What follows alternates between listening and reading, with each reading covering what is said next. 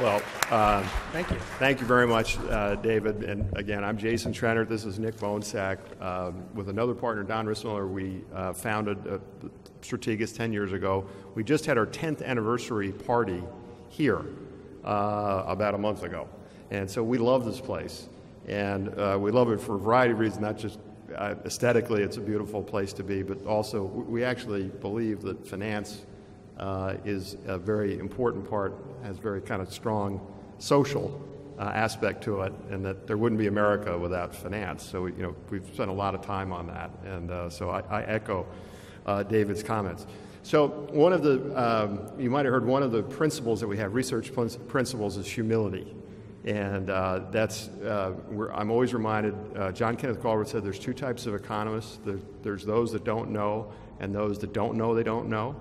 And we're very much, uh, we have some clients here, and we're very much focused on trying to get to the right answer. And so we, we don't want to, I'll just give you a, a, disclaimer we're not trying to offend anybody politically or anything along those lines. We're market people, we're just trying to get to the right answer. And so Nick and I are going to ham and egg it here a little bit. We, I, it's hard to be a fireside chat when you work with somebody day by day. I mean, it's because I know all the things he's going to say. And For 20 there's years. a few, to- few topics that we're going to discuss. Uh, but Nick, why don't we get started sure. and, and why don't you discuss really, uh, as the uh, flyer says, what, what we're finding when we talk to clients as far as investor sentiment and what some of our proprietary measures show.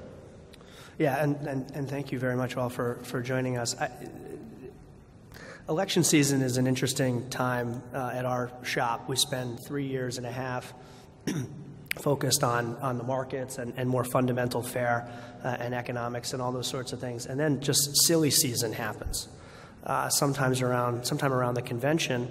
And of course, it, it seems this election is silly season has been going on for probably three or four times longer than that uh, since last uh, since last fall. And when we travel around, people start to lose a little bit of interest in the markets and uh, really start to ramp up the intensity of focus on, on the election and what that implies and what that means and, and, and how we should think about that. Uh, I'm struck sort of every day in the you know, mainstream print media, they have the probabilities of Secretary Clinton's victory potentially and, and Mr. Trump's. And it's someplace between 90 and 10 in her favor or 80 and 20 in her favor. Um, when we go on the road, we actually find it uh, when we take a survey of clients at a table for luncheon or something like that, we get similar results, skewed probably more towards the 80 20. But when we look at some of the portfolios that we've constructed, and we do this every two years and, and certainly every four, to construct portfolios of companies that should do well uh, if Republicans win or should do well uh, if Democrats win, uh, that's showing a little bit of a tighter race. It's, it's, certainly showing it's still very much in her camp, but probably scoring at 55 or 60 percent uh, as opposed to 80 or 90 percent. And so, from that vantage point, uh, it's probably a much tighter race. Uh, than you would get just by watching sort of cable news uh, in, in the evening, uh, particularly the politically biased cable news uh, stations. And I think that's very, very important because it's going to have some, uh, some very real implications in terms of um, you know, the days that will follow the election and the days that will run up to, to forming a government. Um, our Democratic sweep portfolio uh, is outperforming the S&P this year. So in a year where it's been difficult to find returns, our Democratic portfolio is, uh, is outperforming by 100 basis points.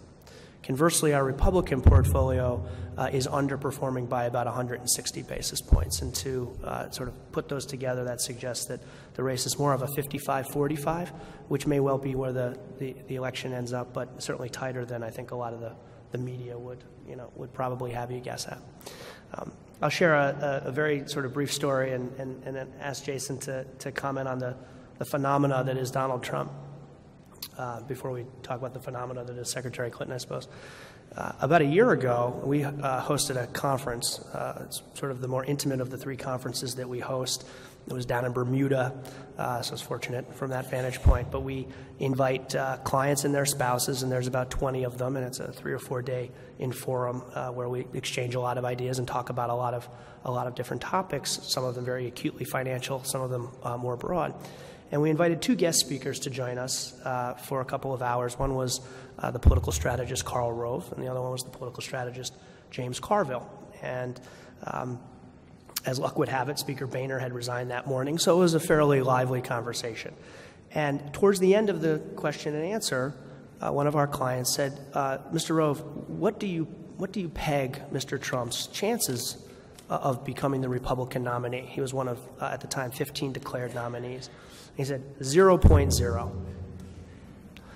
And around the room, the strategians, we sort of chuckled a little bit about that, and I, I asked Jason to just sort of comment on this. Uh, Jason wrote a, a, an article, an, an essay for our clients back in August of last year that said if Trump is a stock, he's underowned.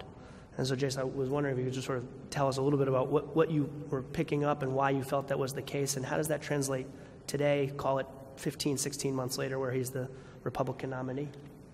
Yeah, I mean, I, I think uh, I've had plenty of bad calls too. That was a good call. Um, I, I, think part of it, I, I do think that one of the, as an investor, uh, so we'll talk a little bit about maybe lessons for investors and also just what I think. But the lessons for investors, I think, is part of the reason why I thought he had a better chance of winning, candidly, is that I watched the speech, a full speech, his speech announcing his candidacy.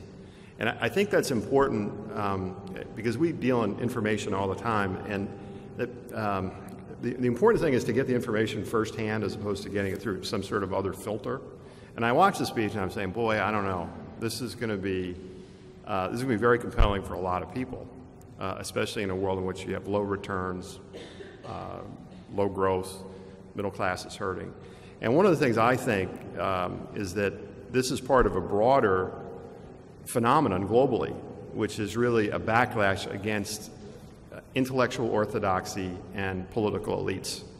And it's, it's the intellectual orthodoxy, frankly, from both the right and the left.